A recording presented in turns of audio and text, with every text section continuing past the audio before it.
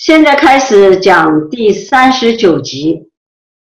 呃，第三十九集呢是燕他问我，嗯，是不是我命中注定没有女儿？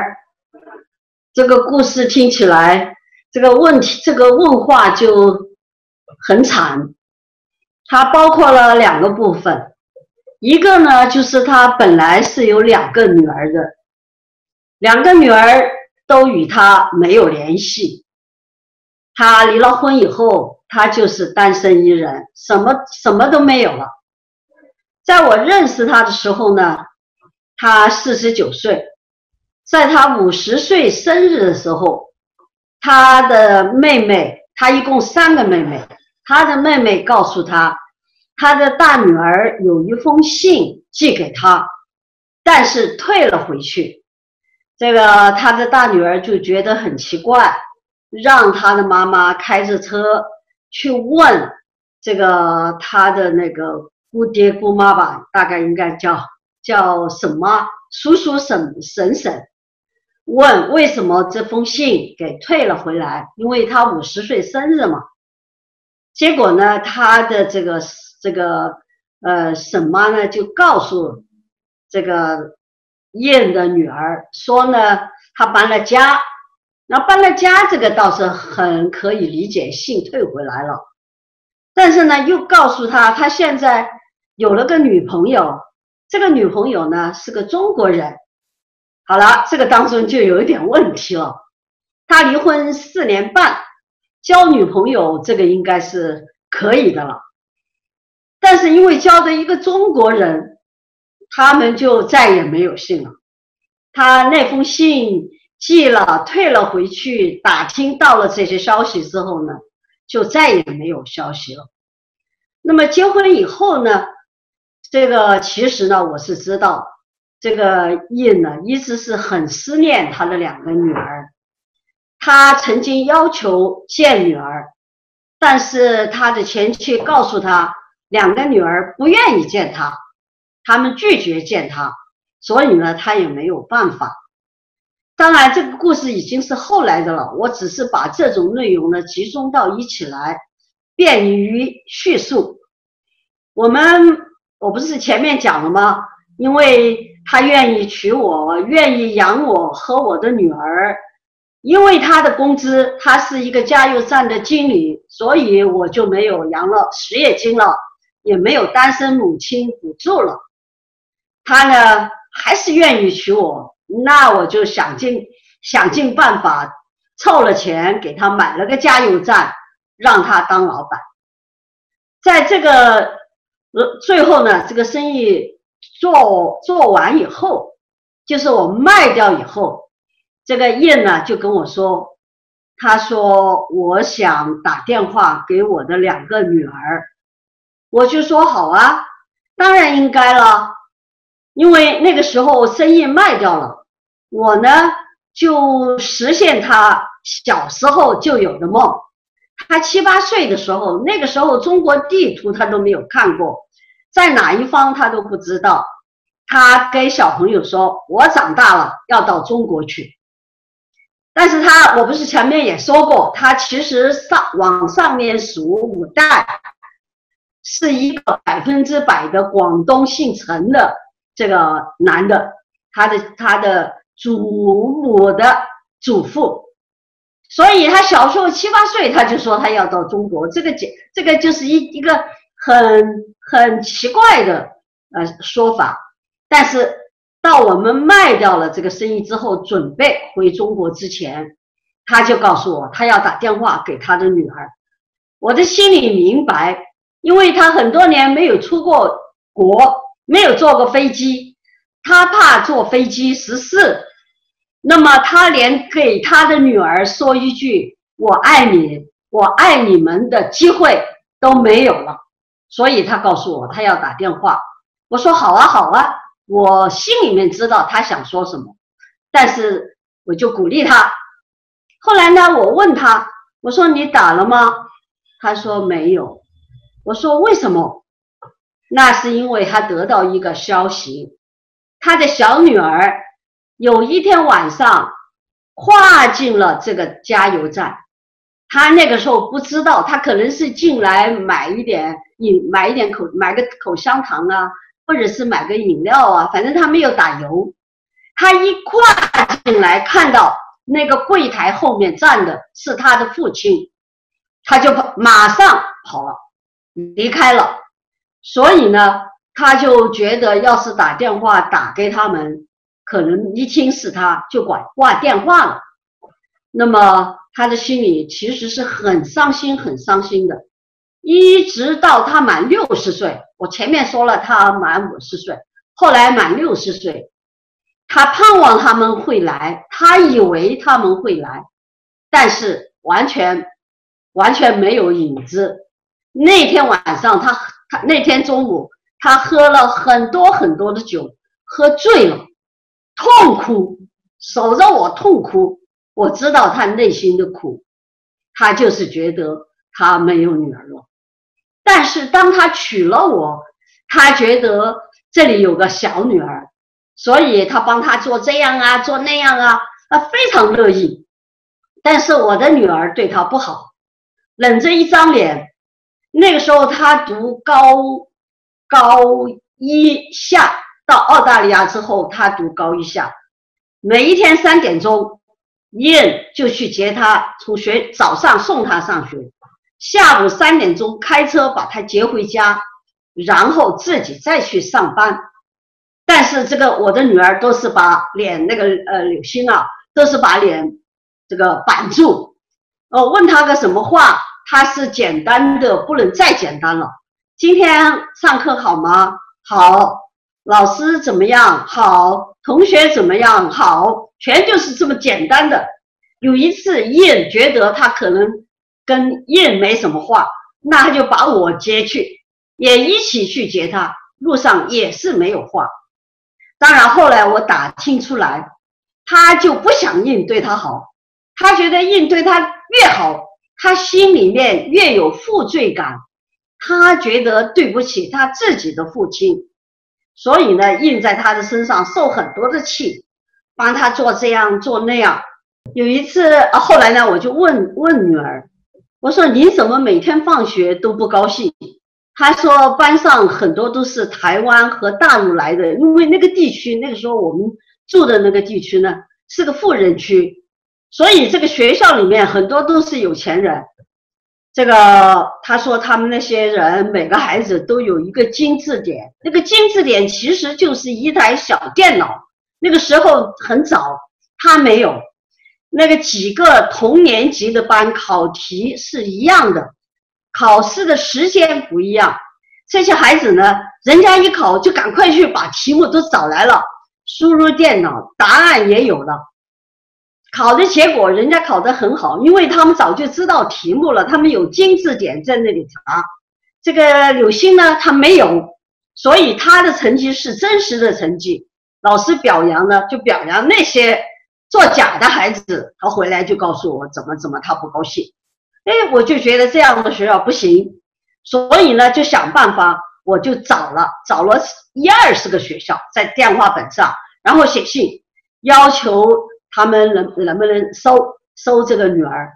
最后呢选中了一个，是一个一个私立女中。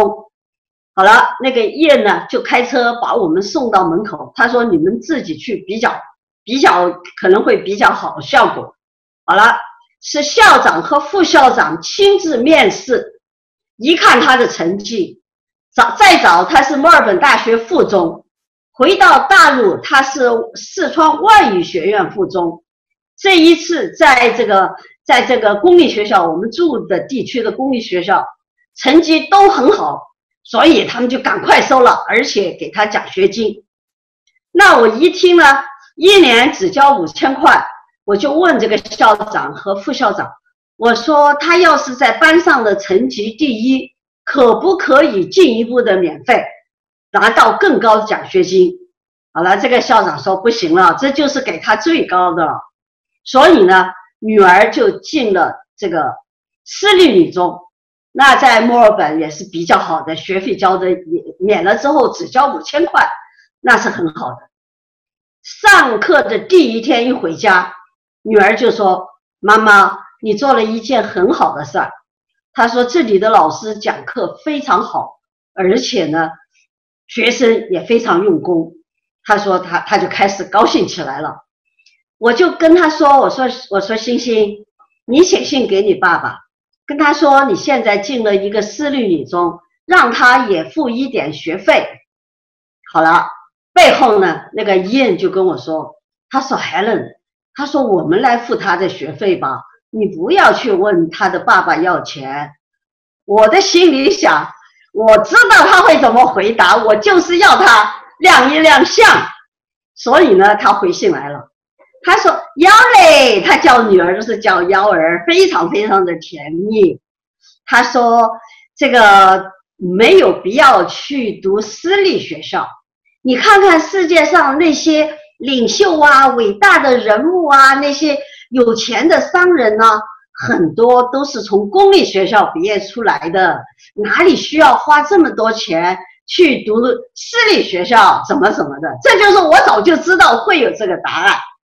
好了，就这样，星儿留心了读了一年，他上学不久。有一天接了个电话，过去是没有电话的，现在那就说明他有朋友了。他接了一个电话，然后呢，他就转过身问我，他说：“妈妈，他说有一个同学，他问我一道物理题，我应不应该告诉他？我觉得这个问题很奇怪。我说当然应该告诉了，你懂得，你知道该怎么解，你为什么不告诉他呢？我说这个问题。”提的很奇怪，为什么？哦，他说我是班上的第一名，他是班上的第二名。假如我告诉了他，他变成第一名怎么办？我说他变成第一名你就追呀，然后你追过超过他，你又成了第一名，他又来追你。我说不是你们两个你追我赶的就提高了吗？这就是他在这个学校里面唯一的一个同学，叫 Yuri。他是南韩来的留学生，在这个私立女中呢，从学幼儿园、学前班、小学、初中、高中，好了，这些孩子从那么小的年纪就是一个班的，然后升上来、升上来、升上来，升到了高二年级，他们已经抱成一团，新的孩子很难打进去，所以。这个柳星呢，他觉得没有朋友，他的唯一的朋友就是尤瑞。好了，他经常啊半夜三更的，因为因为我的睡眠是不能干扰的，一干扰那个发起脾气来，他们两个都很害怕的，所以呢，他就躲在这个角落里面。我听到一点嗡嗡声，起来抓人，结果他在角落里面，角落里面跟那个男孩 Yuri 这两个聊天。好了。我我就知道他在感情上就这一个。后来呢，在高三上刚刚开学几天，我真的要感谢上帝。我这辈子一一这一辈子有这个女儿开始，从小到大，她那个时候已经是十七岁，快满，已经快满十七岁了。我从来没有去。管过他，比如，哎，你你为什么不起床啊？啊，你要迟到了，你的功课完成的怎么样啊？用不着，因为他自己知道，从七岁开始，他已经非常能够管理自己了，没有必要去提醒他。他知道今天可以睡懒觉，明天早上要早点起来，功课回到家里面，他把它做得好好的。我从来不费一句话。但是那一天早上，我一生当中第一次，也是唯一的一次去推开了他他的门。为什么呢？我通常都是那时候已经买了加油站了嘛。我结婚不到两个月就买加油站，所以我都是九点钟之前就匆匆忙忙的离开家里去上班。但是呢，我吃了早饭，洗了碗，我把碗放到那个碗筐里面，咦？突然发现头一个晚上，我买的红葡萄那种很大的、颜色很深的那种红葡萄，他最喜欢吃的。我头一天晚上洗干净了，放在那里，没有碰。咦，他喜欢吃，而且他睡得很晚，他都会找一点东西要吃的。怎么会今天他没有碰？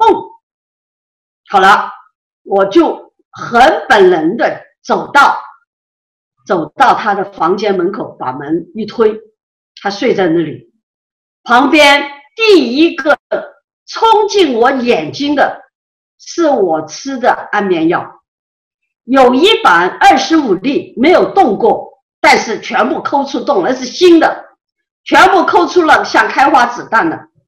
还有另外我剩的八粒也是像开花子弹，一共三十三粒，全部是吃了，放在他的那个床头，旁边还有一罐这个啤酒，咦，很明显就是他要自杀，他自杀。哎呦，我就急得要命，我也不知道我应该做什么，我就拼命的叫，拼命的叫，不断的叫他的名字，叫了十几二十遍，我也不知道我应该下一步做什么。结果呀，我看到他动了一下，然后他就说：“妈妈，你怎么也在这里？”我他的意思是，他应该到了阴间了，怎么妈妈也在阴间？他刚刚问我这句话的时候，我的心里面就震了一下，我也糊涂了，我也不知道我现在是在哪里，我是不是也在阴间了？但是我一看，看到那个那个三十三粒开花子弹在那个旁边呢，还有一罐啤酒，那个罐子，我就说，我说在哪里？你在自己家里，在你的床上。哦，他叹了一口长气。他说：“妈妈，呃，我要我要上厕所，我就把他搀扶着上厕所。我就问他，我说刘星啊，我说你干嘛要这样？他说妈妈，我不想活，我想死，你让我死吧。那那那我就把他扶回去，扶回去马上打电话给叶。我就我就说他，我说手术发生了什么什么。他说好，你现在马上烧开水。”冲咖啡越浓越好，我马上回来，很快就回来了。打了个电话，请人来看店，他就马上回来。回来以后，他一把走进他的房间，把他捞起来，像捞一把一捆稻草一样，把他一抱抱到他那个手里面。我看出来，他既愤怒又悲伤。愤怒，因为他是个继父啊，一个十六七岁的女孩子要自杀，人家会想。你看，你这个继父不知道做了什么坏事儿啊！你的继女要自杀，这种事发生在一个继父的家里面，这不是他期望的。还有，他很悲哀。你看，他的两个亲生女儿不理他，看到了都跑掉。现在他这么爱这个这这个这个继女，而且每一次。这个这个柳星介绍之后都说这是我爸爸，他心里面特别舒服。现在他要自杀，而且求我们让我死吧，我不想活了。所以他他把他一下就架出来，架出房间。然后我冲了那个冲的咖啡很浓，差差一点冷水，他就给他灌。那根本不是喝咖啡了，那就是灌灌热水袋了，灌瓶子了。哎呦，那个满嘴扑，一身都是那个水。我反正是拼命的，一杯又一杯的冲这个咖啡。这个印呢，就一杯又一杯的给他灌，同时呢，就架着他在那个厅里面，从这头走到那头兜圈子，兜圈子。哎呦，那个那个平常那个这个女儿的威风是很大的，她不想说话，她想说话。那大人，特别是英呢，我们都是拍他马屁的个要命的，希望他开心，希望他赏脸。有的时候来一个电话，哎呀，呃，燕，我我迟到了，我这个呃这个巴士赶掉了一班，因为住到这个乡这个地方来之后呢，搬家搬到这里来之后，这个他必须是坐巴士、坐坐坐火车，然后坐电车去去上学，所以呢。他电话一来说巴士错错过了一班，那燕和我都非常快乐的赶快去，给他开车，把他开到这个火车站，拍他的马屁都来不及。可是今天那个印是很很悲哀，很悲哀，很愤怒。这个这个这个女儿说：“哎呀哎呀，我走不动了，不行，你这样对我们，你不走也要走，很凶的。在平常，啊，跟平常可能受气要牢一点本，有点这个意思吧。然后呢，哎呀，我喝不下了，我喝不下了，不行，喝不下也要喝。好了，就这样，我起码冲了二十杯以上的咖啡，他就给他不断的灌。”就从这个房间这头转到那头，这头转到那头，他的脚都提不起来了，都已经软的往下塌了。那个硬把他架起来，架起来，又你就看到一个大男人，一个小女孩子在那个厅里面不断的给给灌咖啡，不断的给他，最后他就开始呕吐。好了，我就提着那个塑料桶，跟他跟着他们三个人这么一品牌我跟着他们转，跟着他，他吐吐吐吐到最后，吐到最后。这个胆汁都吐出来了，什么东西都吐吐完了。好，这个时候这个硬叫我给他换衣服，换了衣服，然后再开车开到医院。在路上呢，我的心里面很难过。这个时候我嫁给他一年零两个月，一年零两个月就发生了三次开车到医院。第一次就是开门的那一天，我中风。半年以后，那是二月二十号中风，然后呢，八月下旬又中风两次，都是他送到医院急诊。这一次又是送到医院，一年零两个月，第三次，这一次是女儿要自杀，送到医院。我就问印，我说印，我说你娶了。我，啊，这么多的麻烦，现在又是女儿要自杀，要送医院，你后不后悔娶了我？他的脸色很严肃，他说：“No，never。”他就是永远不。那在这一点上，他是非常坚定的。好了，另外快要到学校的时候，他就说。他说：“每一个每一个医院啊，sorry sorry，我说错了。快要到医院的时候，他就说每一个医院都会派驻一些社会工作者。凡是像这一种一个一个高三上的学生要自杀，他说那社会工作者会会对这个孩子，包括他的家长。”进行了解是怎么一个案子，而且会通知学校。他说：“呃，你准备，我们都会受到审问。”好了，当然在路上呢，女儿又不断的哀求，不断的哀求。你问她为什么？你为什么要这样？她根本说不出理由，她就是不想活，活着没有意思。好了。嗯，到了学校之后呢，就把我们两个分别，他马上就进了急诊住院，然后呢，我们两个就分别的问，我们也没有办法回答，因为这个加油站买了这个加油站以后，我们两个是没日没夜，印就更不要说了，他每天早上五点钟起床，六点钟开门，十二点钟关门，然后收拾这样收拾那样，回到家。最早也是十二点半过了，上上床睡觉一点钟，五点钟又起来，根本就不可能对他有什么更多的了解啊或者关怀呀。我也是，我早上九点钟起来，啊，这个就到九点钟到店里面，下午五点钟回家做饭，做了饭又回到店里面，然后九点钟回家，都已经是整个两个人都卷入了这么一个。这个加油站像个像个，那简直是把我们所有的时间精力都搅进去了。我们也说不出来，他本人也说不出来，我们也说不出来。